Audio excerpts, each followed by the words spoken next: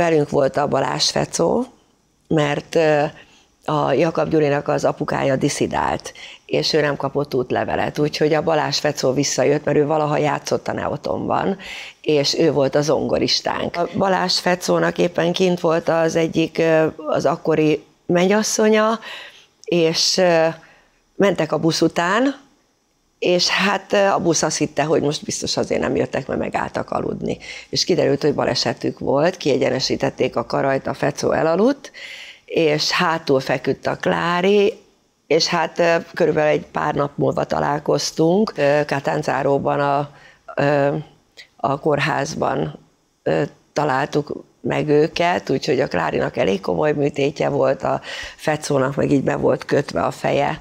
A mindennapok zakatolása közben számtalan emberi történet fut el mellettünk. De ha figyelünk, észrevehetjük, hogy mások történetei mennyire hasonlítanak a miénkre. A versekben mindez ott van, s ha felfedezzük, segíteni is képes a hétköznapokban, és rájövünk, hogy nem vagyunk egyedül.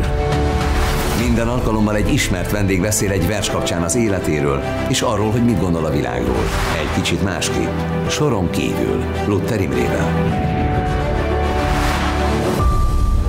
Ma Csepregi Évával találkozom soron kívül. A meg annyi felejthetetlen sláger énekese most saját életéről beszél. Hogyan látja ő a karrierjét? Miért nem volt soha pénze fiatal korában? Hogyan került közel a keleti filozófiákhoz? Mit jelent számára Szabó Lőrinc? És mióta ír verseket? Holnap hajnalig Don Quixote 220 felett repül, ez egészen bizonyos.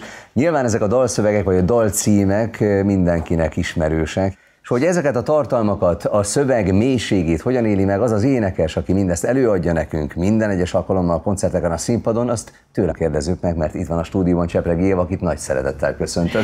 Köszönöm szépen, én is sok szeretettel üdvözlök mindenkit. Ahogy a dalszövegek, a versek, meg egy-egy élmény is másképp alakul az ember életében, amikor, amikor eltelik 5-10-20 év. Benned hogyan alakultak ezek hogy de természetesen alakulnak, és nagyon érdekes. Most hirtelen eszembe jutott egy történet, ugye nagyon sok olyan rajongóval van kapcsolat még most is, akik ilyen egész fiatal koruktól kezdve jártak a koncertjeinkre, és még most is ott vannak, és egyik másik mondta, hogy úristen, hát mindig szerettük a Neoton familiát, és mindig énekeltük a szövegeket, de hogy, hogy bizonyos dalokban ők most jöttek rá, hogy ezek miről szólnak. És hát természetesen nálunk is voltak ilyen folyamatok. Tehát a Neoton egyik fő erőssége talán, ugye, mert hát akkor jó egy dolog, akkor tud sikeres lenni egy dolog, hogyha, hogyha több lábon áll. És az egyik lába a Neoton sikernek a szövegek. És ugye ezt a szöveget, bár én is írok most már szövegeket, meg verseket, de ezt, mint annyi nagy slágert a 60 élmese írt a Pásztor Lacinak a felesége. Az, hogy te a zenei pályán indultál el, abban milyen szerepe volt a családi háttérnek? Milyen volt a szülői ház, milyenek voltak a szüleid? Nagyon egyszerű emberek az én családom, a szüleim is. Ők, hát gyakorlatilag azt lehet mondani, hogy a háborúnak az áldozatai idézőjelbe téve, mert nagyon tehetségesek lehettek volna, de hát nagyon egyszerű családból származtak, és így aztán ugye a, a pont a legjobb éveiket, ez a 20-as, 30-as éveket keresztül húzta a háború, és nem tudtak nagyon érvényesülni, de az anyámnak is nagyon szép hangja volt, apám az magától tanult meg hegedülni, hm. egyébként ilyen fa dolgokkal foglalkozott az egész család, a Szántóról való, már úgy értem a Csepregi család, most még nagyon sokan laknak ott rokonaim, és Ilyen szempontból ők nagyon is benne vannak az én karrieremben. Apám az kevésbé támogatott még ott az elején, mert hát ugye azt szerette volna, hogy valami rendes foglalkozásom legyen, és hát legyünk őszinték, annak idején még ez a fajta ilyen popzenei vonal, ez annyira nem volt elfogadott, mint foglalkozási forma. Tehát ugye az egyszerűbb emberek azt mondták, hogy legyen egy normális polgári érettségie, polgári igen, szakmája, igen. meg minden, de az anyu az rettentően támogatott, és még az elején, amikor amikor hát ugye Hoffman Dönci bácsihoz jártam, ő kutatta föl, hogy hova lehetne menni így éneket tanulni, és ő volt egy nagyon jó és nagyon elismert korepetitor, nem egy énektanár, hanem korepetitor,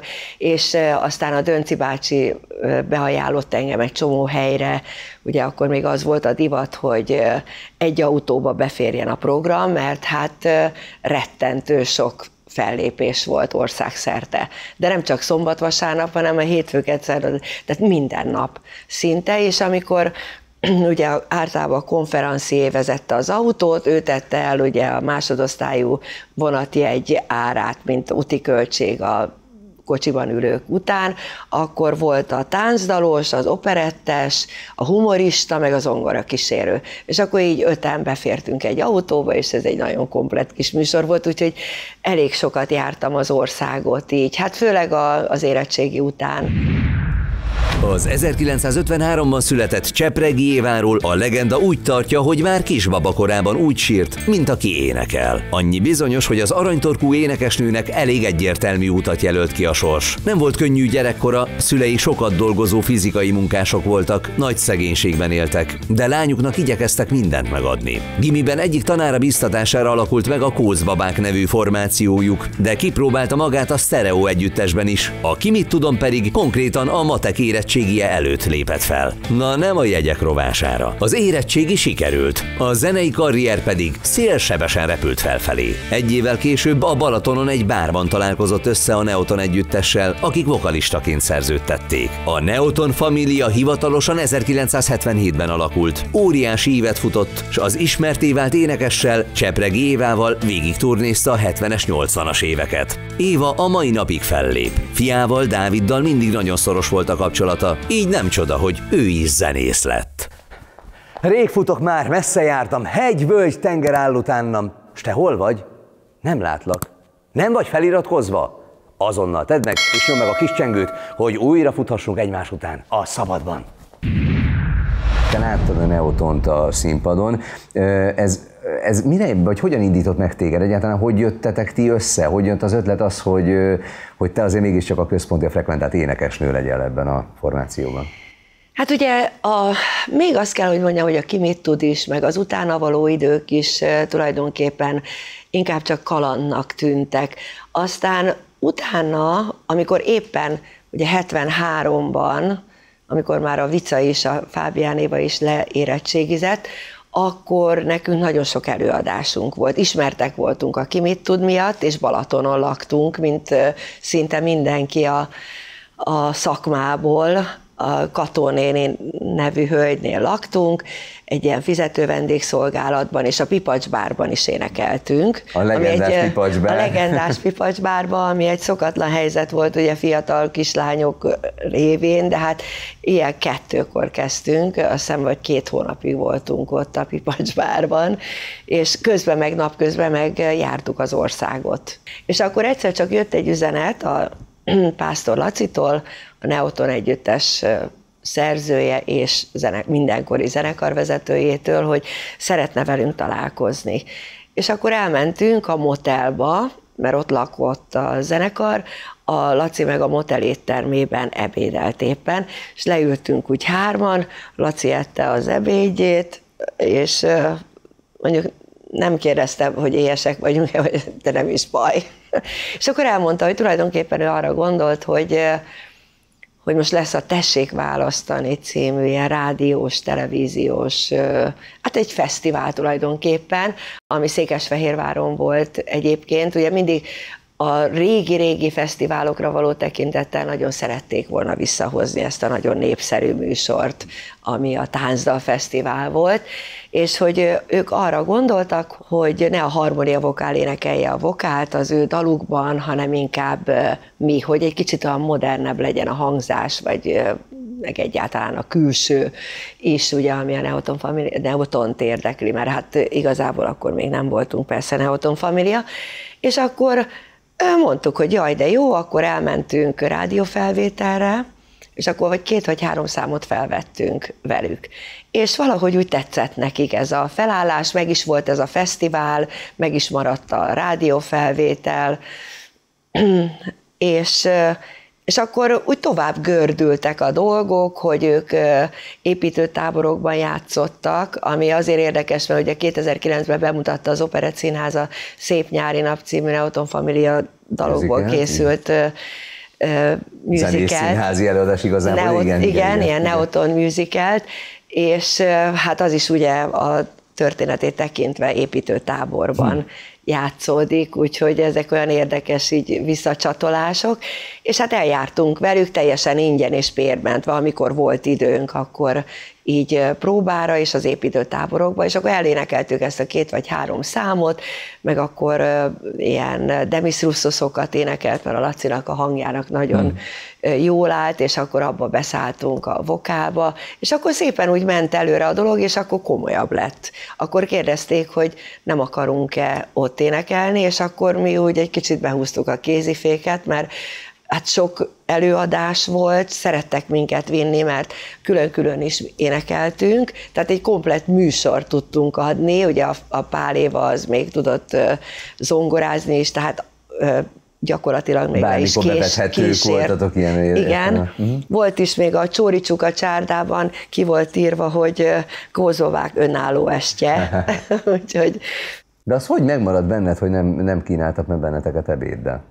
Nem ez csak, hogy a, a pásztor Laci, hogy ott evett, és, és nem, nem ettünk, nem ittunk mellette semmit, tehát egy olyan furcsa helyzet volt, úgy, hogy ez egyébként mutatta, hogy ő a főnök, ő a, a kulcsember a jövőre nézve, mi meg a kicsik, akik ott ülünk, és talán én világéletemben imádtam gyerekkoromban is étteremben enni, uh-huh. de lehet, hogy ez már az én saját problémám. Én amikor mentünk valahova nagyon ritkán, és meghallottam, hogy csörögnek a tányérok, meg minden, akkor már nagyon izgatott voltam, hogy aj, de jó, biztos itt teszünk, vagy itt ebédelünk, uh-huh. vagy cukrászdába megyünk, ez borzasztó, ez az egész életemet végigkíséri ez az evés probléma, úgyhogy na mindegy, szóval ez úgy bennem maradt, és akkor már egy kicsit erre a kérdésre nem voltunk annyira boldogok, és azt hiszem nemet is mondtunk. És akkor a végén mégiscsak visszamentünk, és elértük a csatlakozást, ugye az Ori, hát akkor mi még jártunk ilyen egy ilyen tanfoly, az OSK-nak volt egy két éves iskolája, uh-huh. ami ugye az Országos Szórakoztató Zenei Központ, ami ha elvégeztük, és ugye mi mind a hárman oda jártunk, akkor levizsgázhattunk, ami azt jelenti, hogy lett egy nagy repertoár, tehát az meg volt adva, hogy hány dalból kell állni a kottáknak, akkor még ugye kottákat használtunk, szongora kivonatokat, és akkor megkaptuk a, azt a kategóriát, amivel aztán a szórakozó helyeken felléphettünk. Ezt szervezte az Ori, amit említettél, az Országos Rendezvény az Szervezőiroda. Országos? Rendezőirodának volt egy másik vizsgája, Aha. amit viszont milyen jó, hogy letettem, mert hogy ez már gyakorlatilag beleszámít még a nyugdíjba is érdekes módon, ha. pedig sokkal könnyebb volt az Ori vizsga, csak az más összetételű zsűri volt, vagy vizsgázó bizottság volt, és az egy jó pofa dolog volt, hogy nekünk már volt a az OSK vizsgánk, tehát ott ugye a zeneelméletből, hangképzésből és a repertoárból kellett vizsgázni, itt az, az Oriban meg meghallgatás volt. Úgyhogy aztán meg lett gyorsan az Ori vizsgánk is, és, és egyszer csak volt egy másik meghallgatás, ahol egy olasz menedzser, Pietro Cariaggi szeretett volna magyar zenekarokat meghallgatni, mert hogy a felesége egy színes bőrű, tehát ilyen olasz-etióp keverék dél-olasz turnéra készült, és akart egy zenekart magának, persze hát mondanom se kell, hogy nagyon olcsó ér, és meghallgatott többek között minket is, és az volt csak a fura, hogy hogy elaludt effektív így a meghallgatáson, láttuk, hogy hát az azért bizalomgerjesztő. és nem mondtuk, hogy ebből se lesz semmi, de lett. Úgyhogy következő évben éppen most egy rajongó megtalálta ennek a plakátját, ennek a Lara Szent Paul show-nak, ami hát egy több mint két hónapig tartott, úgy próbákkal együtt, és kimentünk a az Interkoncert meg az Ori szervezésében nagyon-nagyon kevés pénzért, nagyon sok kalanddal, és nagyon szép helyeken, és fantasztikus dolgokat láttunk. Hát gondoljátok el, hogy 74-ben tehát egyszerűen Olaszországban. Még szinte hát elérhetetlen kategória Ez volt, egy elérhetetlen abszolút. kategória volt. Sajnos egy ilyen alkalommal volt, hogy elszakadtunk egymástól, és a Balázs Fecónak éppen kint volt az egyik, az akkori mennyasszonya, és mentek a busz után, és hát a busz azt hitte, hogy most biztos azért nem jöttek, mert megálltak aludni. És kiderült, hogy balesetük volt, kiegyenesítették a karajt, a Fecó elaludt,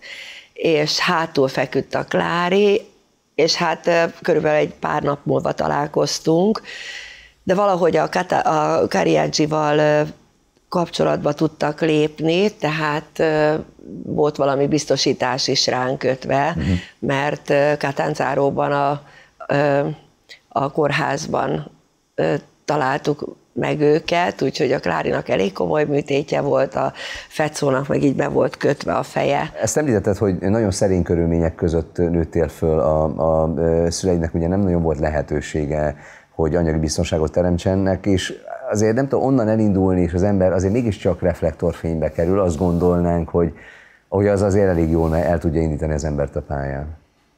Hát nézd, akkoriban, még amikor ilyen pályakezdők voltunk, én azt mondom, hogy, hogy olyan éppen, hogy nem mondom, hogy rosszul kerestünk, de valahogy volt egy, egy valaki azt mondta egyszer, hogy miért kéne nektek többet keresni, mint egy vállalatigazgatónak.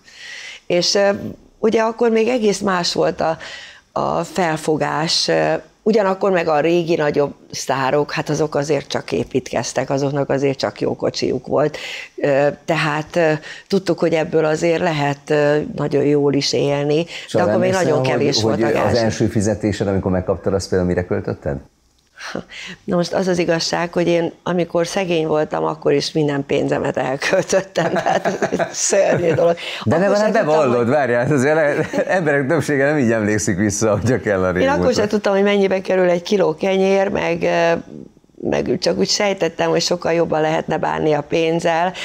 Mit tudom, én csak mondok egy példát, amikor Balatonon voltunk, ugye egy hárman, akkor, akkor ugye a Fábián Éva a turné végén vett egy Wartburgot, én meg egészen a Nagyvárad térről valahogy gyalog mentem haza, mert nem volt pénzem taxira, meg semmire, akkor még, tehát éjszaka mentünk, ugye nem jártak a villamosok, egyébként is nagyon sokat gyalog voltak. Magyarul a turnébusz kitett benneteket valahol, Igen, és onnan valahol akkor haza kitett, mosoly, mosoly presszó, vagy mit tudom én, ami a belvárosban volt, aztán Irány haza. Irány haza, ruhazsákkal a hátadon, meg mit tudom, hát azért ez is mutatja, hogy egy kicsit más volt akkor még a helyzet, bár időnként eszembe jutott, hogy úgy éjszaka, amikor gyalogolok, hogy ha valakit most fejbe vágnak, akkor nagyon nem találnának rám, de hát ugye nem volt jó helyzetem ezzel a 18. kerülettel. Hú, az első fizet, hát én dolgoztam a kinoimban, mint titkárnő, mondjuk nagyon sok hasznomat nem vették, mert akkor is már ugye hakmizgattunk, és mindig így feküdtem az asztalon, és próbáltam kipihenni a fáradalmakat. Hát az, az volt valami 1200 forint volt a fizetésem. A, az elég nagy pénz volt annak idején. E, nem volt rossz, igen. Aztán e, a gázsi az meg ilyen 180 forint, 200 forint, tehát valahogy így uh-huh. volt az origázsi. Ugye akkor még meg volt határozva, hogy az országos rendezőirodának az ilyen vizsgázott és nyilvántartott emberei, hogy, ki mennyi gázsiért lépjen föl. Úgyhogy ebből voltak is aztán, mikor így az átállás volt problémák, mert ugye mondjuk a Kabos Laci, én emlékszem, hogy volt egy ilyen nagy botrány, hogy kiderült, hogy a Kabos Laci nem annyiért lép fel, amennyi, nem a, tudom én, 1530 forintért, hanem jóval többért. Mm. És akkor ő, ő vállalta, hogy hát, hát mit gondolnak ezek, hát nem fogok ennyi pénzért, hát dehogy is. És akkor jött egy ilyen, ilyen téren is egy rendszerváltás, hogy, hogy ugye egy kicsit szabadáras lett a dolog. Együtt váltatok lényegében a zenekar tagjaival legendákká. Ezt nyilván meg kellett élni, ahogy az ember koncertről koncertre egyre nagyobb rajongó táborra rendelkezik, egyre szélesebb a repertoár, egyre inkább jönnek ki azok a slágerek, amik láthatóan időtállóak, és valahol azért azt is látni lehetett, hogy a Közép-Európán belül ti lettetek a, a közép-európai abba a zenekar, mert ezt nagyjából így lát. Én legalábbis én, én tényleg így láttam, mert a szüleim is így látták, és ezt jó volt hallani, látni. De közben meg azért egy sok mindenről lemaradtatok, hiszen a, mondjuk amikor az ember turnézik és egyfolytában megy, akkor meg család nincsen. Ezek nem fájtak ezek a dolgok? Vagy az ember nagyon tudatosan azt készítette, hogy igen, ez a szakasz az életemben, ez erről szóljon? Hát igen, a fiúk könnyebb helyzetben voltak. Ott születtek nyakra főre a gyerekek. Ugye hát Ádámnak három lánya van, ugye a Laciéknál is két lány, aztán öcsiéknél is két, egy fia, egy lány, tehát a fiúk könnyebb helyzetben voltak ilyen szempontból, ott ugye a feleségnek kellett kitartani. Én, én, én valahogy úgy voltam vele, hogy akkor még igazából bele se gondoltam ebbe a dologba, de, de azt is tudtam, hogy nekem biztos, hogy nem telik el úgy az életem, hogy ne lenne egy gyerekem. Tehát azért az nagyon benne volt a képbe, hogy szeretnék én, én egy gyereket magamnak, mert szerintem az anyukák elsősorban maguknak szülik azt a gyereket, vagy legalábbis jó, ez most egy másik kérdés. De, de, ez, de ez egy nagyon fontos dolog, amit mondasz. Tehát te már akkor abban a korban tudtad, hogy, hogy fontos neked, hogy legyen gyermeked? Igen. És, és azt is tudtam, hogy, hogy elsősorban nekem kell eldönteni, hogy, hmm hogy azt a gyereket mindenen túl szeretném. És hát aztán ugye 83 84-ben ismerkedtünk meg mi a, a Bobival, ő egy, ő is tulajdonképpen ugye a szakma hullámain jött, ugyanis annak idején ugye nagyon szerettük volna ezt a Yamaha sikert beváltani valami európai sikerre. De akkor, akkor már, ahogy mondtam, egy kicsit kezdett szétzilálódni az együttes. Jó, hát persze mindenhol próbálkoztunk mi, meg akkor is voltak nagyon jó dalok, akkor is voltak fantasztikusan sikeres lemezek, mert hát gondoljunk csak be, hogy 80 ban jelent meg mondjuk, aminek ez a cirkusz, uh-huh. ami azért a minden idők legnagyobb neoton sikere volt, mely a 400 ezer példányszám körül Elérhetetlen el. számokról beszélünk ma már. Tehát Igen, és a 86, tehát az nem olyan nagyon régen, és ugye tudtuk még fölspilálni ezt a dolgot, és és akkor keresgéltünk egy, egy kinti zeneszerzőt és hát ugye Toshiba, EMI, EMI Publishing, hát ezek ilyen testvérek voltak, és akkor emlékszem, a Jutani küldött egy dalt, hogy ha van kedve, akkor csináljam ezt meg magyarul. És nézd, ez a Japanese Boy volt. Uh-huh. És ú, mondom, ez egy borzasztó jó szám, ezt mondom, komolyan nekem, mert volt egy pár, a Smile volt, a Jöjjön a nyár, a Szia, meg, tehát volt egy pár olyan, ami nem a mi dalunk volt, és joggal gondolhattam, hogy ezt, ezt nekem. Hát mondom, figyelj ide, ez egy világság. Na, rá, mit tudom, egy hónap múlva ki is jött, ugye ezt a Bobby írta, és hát több millió példányszám lett egy pillanat alatt a demo, mert ez demo mhm. felvétel volt, ami megjelent végül is. A, egy skót énekesnő énekelte, egy népdal énekesnő, ez az Annika, és azt mondta a kiadó, ugye akkor az az Elton Johnnak a kiadója volt, hogy nem kell ezzel vacakolni. Így, ahogy van, jó ez úgy demónak, amit egy garázsban vettek föl, és puff, megjelentették, és ez egy nagyon nagy siker lett, és hát valahogy így ismerkedtünk meg a Bobival, aki aztán küldött egy csomó dalt, meg, meg minden, és akkor az egészből lett egy, egy szerelem egy idő múlva, és hát végül is ő lett az én Dávidomnak az apukája. Ő szintén zenész, ugye? Igen, igen, hát ő most 15 éves kora óta mi dobosunk, uh-huh. tehát ő dobol, jó zenész lett belőle. Mikor ö, vált fontossá számodra az a fajta keleti filozófia, ami azért ott rejlik a költészetben, az irodalomban, nagyon keményen, meg egyáltalán a, ugye a dalok szárnyán, amikről beszéltük, hogy milyen fajta dalszövegeitek vannak, annak nagyon nagy mélységei és magasságai vannak, tehát hatalmas íveket lehet bejárni, akkor is az ember előadja, akkor is, ha énekel, vagy csak belegondol, ha elolvassa. Azért én szerettem mindig a verseket, szerettem az irodalmat, szerettem olvasni, és valamikor a 80-as évek vége fele a Péter, az Erdős Péter megálmodott egy ilyen önálló estet. Ő neki egyébként erre nagyon jó érzéke volt, egy rendkívül művelt ember volt, rengeteg vers, és maga is költőnek készült annak idején, és hát ha valaki még emlékszik rá, remélem igen, volt egy egy élettársa nagyon régen, a Jobba Gabi, egy színésznő. Uh-huh.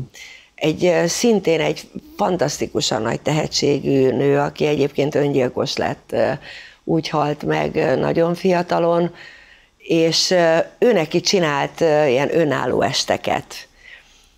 Az egyik meg is jelent egyébként az Egyszemélyes Színház című kötetben, és hát én mindig csodálkozva néztem, hogy egyik pillanatra a másikra fogalmazódik meg benne ez az egész mint önálló est. Csak úgy nyúlt a könyvtárába, ide-oda, vette elő a, a köteteket, és állt össze mondjuk egy karádi est, ugye akkor még nagyon nem volt ez divat, de akkor a karádinak volt egy ilyen nagyon újra jövő hulláma, hogy úgy mondja, megint nagyon népszerű lett, akkor volt ugye a Lady Elles, ami így a terror, tehát akkor kezdődött ez a terrorista hullám, tehát ezek a repülőgép eltérítések, és mint tudom, és a Lady L, mint olyan, az neki az egy ilyen alapkönyve volt, és hát el, eljött az az idő, amikor nekünk is csinált egy önálló estet, ez a vendégszerep az volt a címe. Ami, hát ugye mi hittünk a dalainkban, hittünk abban is, hogy a közönség úgy fog bejönni, hogy itt a slágereket fogja hallani, de ketten maradtunk a zenekarból erre az estre, az Ádám és én. Akkor már a zenekar szinte feloszlott. De, de hát akkor még ezt annyira nem ö, propagáltuk, meg akkor még talán volt valami halvány remény arra, hogy ez nem fog megtörténni, és akkor létrejött ez az ez az est, és gyakorlatilag kezembe adott három verset. Két Szabó Lőrinc volt, meg egy Adi. Ugye az Adinak az Egyedül a tengerrel mm, volt. Gyönyörű. Az és is egy nagyon nagy zeneiséggel bíró vers. Igen, az a mindig visszatérő mm. két sor a végén, a másik pedig a Egyedül, az is a Szabó Lőrinc, az is egy nagyon szép vers, ez a testvérkém fáj, hogy egyedül vagyok, fáj a nappal ezer ugráló színe. És a másik volt ez a nagyon izgalmas Zhuangji álma. Hmm. Ugye akkor egy kicsit utána néztem, hogy ez, ez egy ilyen vonulata volt a Szabó Lőrinc verseknek, ezek a Zhuangji versek, és, és ez is micsoda óriási dolog, hogy, hogy ő így a keleti kultúra felé fordult, és, és elkezdett valami fajta magyarázatot keresni gyógyírt keresni ezekre a borzasztó problémákra, amik, amik aztán persze be is teljesültek. Az életet mindig leképezi a költészet, ami képes nem csak a hétköznapjainkat megfogalmazni, hanem a nagyívű gondolatokat is. Mindkettőnek mestere volt korának egyik legellentmondásosabb személyisége, Szabó Lőrinc. Verseivel személyesen kereste meg Babics Mihályt, aki bevezette az írók körébe. Sőt, később a lakásába is befogadta az albérletekben nyomorgó fiatalembert. Tanítványa lett így Szabó Lőrinc a műfordításban is korán kiteljesedhetett. Versei könnyen érthetők, de titokzatosak is. Megismerjük bennük az önkényeskedő férfit épp úgy, mint a gondolkodó, mélyen művelt filozófust és az érzésekkel teli embert. A földi gyarlóságon túl pedig nagyon komolyan belevetette magát a keleti filozófiákba, ezek nyomán is maradandó verseket alkotva. Hiába mondom a magam szavait, nem figyel oda, kikapcsolja a telefont. De te kinek kapcsolj? Nem sokára lesz egy újabb adás, tudsz róla? És csak akkor tudsz róla, ha feliratkoztál. Úgyhogy nyomj egy csengőt. Csengő. Sokszor elmondtam ezt a verset, És akkor még igazából én nem érdeklődtem a, se a feng shui iránt, se a kínai orvoslás iránt. Én azt hiszem, hogy arra meg kell érnie az embernek. Arra egy picit már talán idősebbnek kell lenni. A mikorunk, ez inkább így intézném el a dolgot, hogy az a mikorunk, az nem volt erre alkalmas, hogy nagyon belegondoljunk ebbe a dologba, de talán ez volt az első lépés. Ezt egyébként miért gondolod? Tehát ez egy fontos dolog, amit mondtál, hogy ez, ez miért, miért volt így? Hát ugye az 50-es évektől kezdve ez a szocialista világ, ez nagyon kinevelte az emberekből ezt az ezotéria felé hajlást. Ugye borzasztóan materi- materialisták lettünk. Igazából például nekem keresztelőm sem volt, mert, mert akkor ez szinte majd, hogy nem jó, biztos vidéken más volt a helyzet, meg mit tudom én. De, Sokat így volt, név, de ez névadók így volt, voltak igazából. Névadók voltak, Igen. még én is úgy lettem kereszt szülő, ugye, hogy névadó uh-huh. voltam a keresztfiam névadóján. Tehát én emlékszem, egy, volt egy orvosbarátnőm, sőt, tehát még most is van, aki egyszerűen az akupunktúrát, tehát arra nevetőgörcsöt kaptak, hogy, hogy akupunktúra, micsoda butaság ez és tehát minden ilyen dolgot valahogy nagyon nem vettünk komolyan.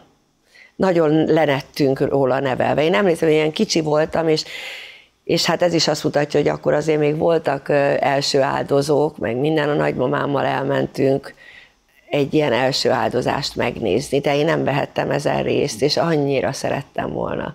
Ezeken olyan, egyszer most elkezdtem egy kicsit festegetni, esküszöm meg fogom festeni azt a habos, babos, fehér, zöld dolgot a kakaókkal és kaláccsal, ahogy ott szaladgáltak a templomkertben a gyerekek. Nagyon vágytam volna rá, de akkor, akkor ezt mi nem tehettük meg. És, és aztán érdekes módon volt még egy, egy lépés így a keleti kultúra felé, volt egy technikus, a Szovjetunióban turnéztunk, és ez a technikusunk, úgy hívták, hogy Lobó, aztán lett is egy ilyen dal, hogy Lobó az idegen, de nem róla szólt, mint egy Neoton dal. Ez a technikusunk, ez buddhista lett. És elkezdtünk sokat beszélgetni ott a turnén, és így mindenféle könyveket így a kezembe adott. Vörös oroszlán mondta, hogy ezt feltétlenül, mert hát ez a beugró ebbe a világba. Miket szeretnél csinálni a közeljövőben? Túl a koncerteken? Nagyon szeretek így írogatni, például most ezeket a verseket nagyon jó szívvel írtam meg, ezek jól sikerült. A, amiket én írtam? Igen. Igen. Úgy kezdődik, hogy amerre én megyek, nyárvirágot nem terem, szeretni fogsz-e így is, kedvesem. Amerre én megyek, dalolva sír a végtelen, eljönnél el messzi útra velem. Odahol a a múlt már messze jár, odahol csak egy nap a világ, oda ö, nincs előre se visszaút, valahol az operencián angyalok vigyáznak majd ránk, csak a, ö, csak a szerelmünk az Úr. Hm. És akkor van benne egy ilyen, hogy álomba ringatózva, szerelembe burkolózva, hazud most nekem, hogy eljönnél velem. Tehát ez volt az egyik, amerre ez, én ez megyek. Gyönyörű. Én is hoztam neked egy idézetet, Picit útravalóul is, meg hát azért nem tudom, az ember vértezze föl magát olyan dolgokkal, amik talán rá jellemzőek. Ez Babicki Tibor nevű költő írta, hogy nem ragaszkodni, hanem szeretni vágyom. Nem aggódni, hanem félni akarok. Nyom nélkül élni, mint a felhők. Árnyékot cipelni, zivatart. Sodródni, szétomolni, hagyni, hogy végül ragyogjon a nap. Uh-huh. Nagyon szép. Köszönöm. Hát én azt kívánom, hogy ez a nap ez kísérjen sokáig utadon, és ragyogja be minden egyes hétköznapod úgy, hogy megszálljon az ihlet, és még sok-sok ilyen verset, meg dalszöveget alkos, és énekeld is el nekünk, hogy legyen Köszönöm. még mire táncolni, valahol úgy 220 felett, de akár 440-nél is.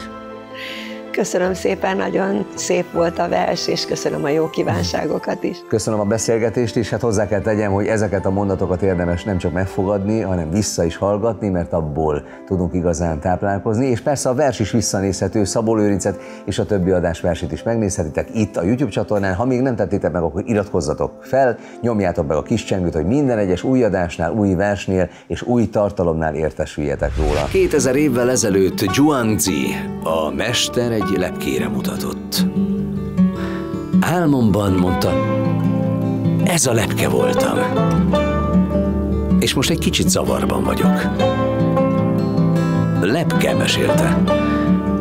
Igen, lepke voltam, s a lepke vigan táncolt a napon, és nem is sejtette, hogy ő Zhuangzi. És felébredtem. És most nem tudom, most nem tudom, folytatta eltűnődve. Mi az igazság? Melyik lehetek, hogy Zhuangzi álmodta a lepkét, vagy a lepke álmodik engemet? Én jót nevettem. Ne tréfálj, Zhuangzi. Ki volnál? Te vagy Zhuangzi. Tehát? Ő mosolygott. Az álombeli lepke épp így hitte a maga igazát. Ő mosolygott, én vállat vontam. Aztán valami mégis megborzongatott. Kétezer évig töprengtem azóta, de egyre bizonytalanabb vagyok, és most már azt hiszem, hogy nincs igazság. Már azt, hogy minden kép és költemény. Azt, hogy Zhuangzi álmodja a lepkét, a lepke őt, és mindhármukat én. Következő adásunk vendége Gálvölgyi János lesz, akinek felvételiét nem akárki segítette, hanem József Attila, ugyanis a Betlehemi Királyok című versével készült, és végül nyert harmadik ízben felvételt Gálvölgyi János a főiskolára. Megtudjuk, hogy mit jelent számára ez a vers, és amely kicsit fájó a művész számára, hogy miben változott meg az ő szakmája, miben lett más a színészet most, mint ami volt 30 évvel ezelőtt. A következő vendég soron kívül Gálvölgyi János. Hát az ember nem szerepel a televízióban, akkor nincs, akkor nem létezik. Hát a régi nagyok, amik még nem volt televízió, most a Rádai Imre, a Latabárkám, hát ők a filmből lettek népszerűek. Hát a színházban egy embert megnézik egy este 500 jó esetben. A tévében azt mondom, hogy mit tudom, elmegyek az őserdőbe, a dzsungelbe, megeszem egy pálmafát, azt megnézik 4 millióan, és akkor azt mondja, hú, ez már, ez már valaki, hát mit tennek ezek a celebek, hát az embernek a szíve szakad bele, hogy, hogy mik lehetnek itt irányadó emberek, hogy kik lehetnek itt. Hogy levarratta mellét a füle mellé, és ez egy, ez egy hír, és nem tudom, leesett a lába, és erről szól a világ. De hát ez a világ olyan is amilyenek a celebjei. Fontos, a versek mindegyike megnézhető, meghallgatható a YouTube csatornámon. Iratkozzon fel, hogy ne maradjon le! A műsor igaz történeteken alapul. Az adásban megjelenő szereplők valós személyek. A történeteik hasonlósága más emberekéhez pusztán a véletlen műve. A versek által okozott katarzisért a műsor készítői felelősséget vállalnak. Támogatónk a Líra könyvesbolt hálózat. Teret adunk az olvasásnak. A felvételben partnerünk az Erla Technopro Kft. A műsor támogatója a Blik. Simple a New. Viselj verset. Gyulai Árt. Emelj művészetet a stílusodba. Együttműködő partnerünk a Versmondó folyóirat. Hangot adunk a versnek. Magyar Versmondók Egyesülete. A dolgok változnak, a vers örök.